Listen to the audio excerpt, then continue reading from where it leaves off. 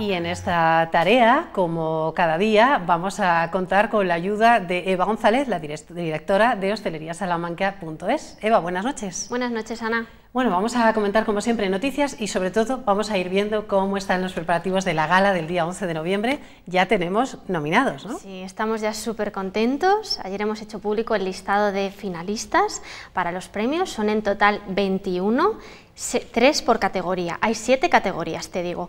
Yo quiero comentarlos contigo, quiero mencionarlos, por si acaso todavía alguno no se ha enterado, que a mí me ha quedado constancia por las redes sociales de que sí, pero bueno, por si acaso te los quiero, te los quiero comentar. Sí, queremos conocerlos, vamos a, ir nombrando eh, esos 21, que son de momento los finalistas, los que ya de momento ya han ganado algo, que es el estar ahí en la lista de los mejores. Por supuesto, para ellos es también, también un orgullo estar nominados. Bueno, tenemos en la categoría calidad y servicio, que esta es un clásico, está con nosotros desde de la primera edición de los premios, tenemos a Casa Conrado de Villaseco de los Gamitos, al restaurante Los Arcos de Villares de la Reina y al restaurante Sierra Quilama de San Miguel de Valero.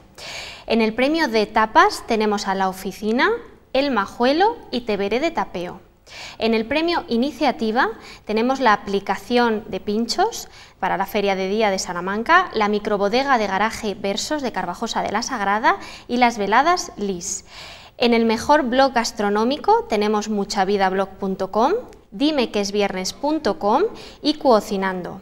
En el mejor chef del año, que esta es una novedad, es una categoría nueva que hemos incorporado este año, tenemos a Óscar Cruz de Vida y Comida, Marcos del Valle del Mesón de Gonzalo y Helio Flores de Los Álamos de Peñaranda de Bracamonte. Además de dos de ellos vamos a hablar luego que te voy a contar también un notición. Ah, muy bien. Luego premio Revelación, que también es nuevo este año, 2013. Tenemos a las tapas de Gonzalo y Pan y Vino y La Tentación. Son establecimientos que se han inaugurado o que se han reabierto con otro concepto distinto al que tenían durante este último año.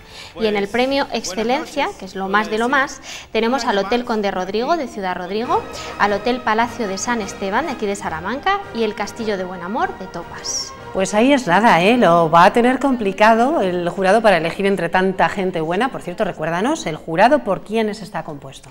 Bueno, nosotros ahora lo que hemos hecho es publicar los nominados y abrir las votaciones online, es decir, todos los internautas pueden votar a sus finalistas favoritos desde ayer, que se anunciaron, hasta el día 7 de noviembre. Y esto lo puede hacer cualquiera desde casa sin tener ningún tipo de eh, conocimiento, vinculación, ni nada que ver con el sector, puede entrar y decir es que a mí me encanta este sitio porque sí. Claro, por supuesto. A ver, son votaciones controladas, permitimos que se vote una vez por día y por cada categoría y además luego son votaciones que tienen que bueno, tienen que, mm, ellos van a recibir un mail en su dirección de correo electrónico y tienen que aprobarlo, ¿vale? Es decir, lleva un proceso, no es una votación un poco eh, a la ligera, está lleva controlada y así debe ser, claro. Está muy controlada, es decir, pueden votar directamente a través de la web oficial de los premios Hostelería Salamanca, nosotros tenemos una web oficial, ahí se encuentra toda la información de la historia de este evento, bueno, pues el jurado, los nominados de todos los años, vídeos también de todos los años, fotografías, como habéis podido ver, y aparte hay una pestaña que se llama Votaciones. Ahí, en esa pestaña, está toda la información de los nominados de este,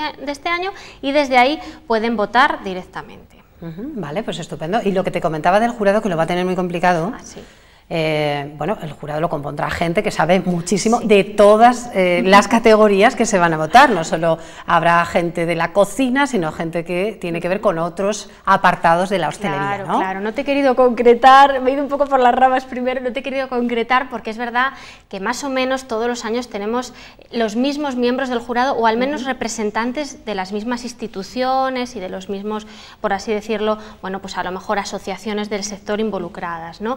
Pero tampoco tampoco te quiero decir nombres para que no haya No, no me los cuentes, hay ellos que son los que tienen aquí eh, una pelea importante porque es gente muy buena, como estamos diciendo, toda la que se ha seleccionado, que ya de entrada el estar ahí, como hemos dicho, es, es un, premio para, para, todos ellos.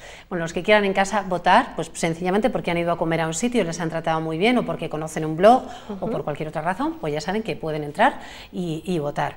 Eh, me traes noticias eh, de gente muy buena que tenemos aquí, ¿verdad? Sí, te traigo dos noticias. Por un lado, lo que te comentaba, eh, hay dos de los nominados que van a ser nuestros representantes en el concurso nacional de pinchos de Valladolid, que va a tener lugar unos días antes de los premios, la primera semana de noviembre.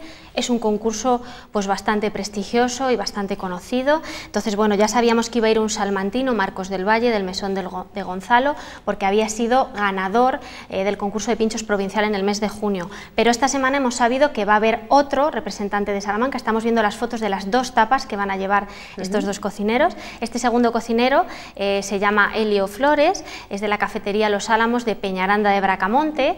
Él se ha presentado por libre ante el jurado del certamen y bueno, pues le han escogido. Eh, ha presentado una tapa muy curiosa, él es muy imaginativo, es la caja roja famosa de toda la vida de, la marca de chocolates que todos conocemos, pero son bombones saladas. Presenta un pan de morcilla y cebolla, una torta de queso con trufa y una anchoa con foie, chocolate y queso de cabra. Bueno, qué rico todo, ¿eh? Muy original. qué rico y qué original y de verdad que bien presentado también y qué bonitos son los pinchos. Y es que además, eh, como siempre decimos, la cocina primero tiene que llamar la atención a la vista y después a, todo lo demás. O sea que tenemos gente muy buena por ahí compitiendo. Claro, date cuenta que además solo hay 49 participantes de toda España, han sido seleccionados y de Salamanca tenemos dos, o sea que bueno, pues es una cifra bastante importante. Lo bueno es que el ganador se lleva 6.000 euros de premio, que bueno, oye, también el aporte económico pues importa, ¿no? Siempre será bienvenido, desde luego. oye, para el fin de semana, es miércoles, todavía queda, pero es que queremos ir haciendo nuestros planes. La semana pasada nos íbamos de Vendimia a San Martín del Castañar y este fin de semana, ¿qué hacemos? Bueno, pues este fin de semana, en concreto mañana y pasado, jueves y viernes, tenemos unas jornadas en la jamonería de Carmen, que está ubicada en la calle Zamora. Eh, son unas jornadas del farinato y de la morcilla, pero que no se van a presentar de manera convencional. Eh, lo que nos ofrecen es lo siguiente, los alumnos de la Escuela de Hostelería Privada de Salamanca han preparado una serie de tapas de diseño, tapas creativas, diferentes, elaboradas, a partir de estos dos productos tan tradicionales y tan nuestros, ¿no? como son el farinato y la morcilla.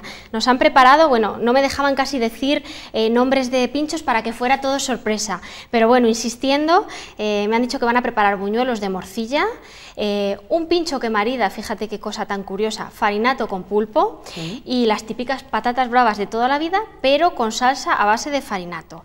La materia prima va a ser de la empresa Ergaer, que es una empresa salmantina, que bueno, elabora sus productos de una manera más artesanal posible y con ingredientes totalmente naturales. Así que mañana y pasado tenemos esta cita gastronómica. Bueno, pues también tiene muy buena pinta, no se preocupen, ¿eh? porque no se lo vamos a copiar, que nos parecen cosas muy sofisticadas, no creo que nos atrevamos lo que vamos a hacer es ir y, probarlo, eh, como bien decía Eva, mañana y, pasado. Gracias por haber venido, que sigáis trabajando también con los preparativos de, la gala. Ya sabemos que ahora es muy intenso, que salga todo redondo. Gracias, Eva. Muchas gracias, seguimos informando en las próximas semanas.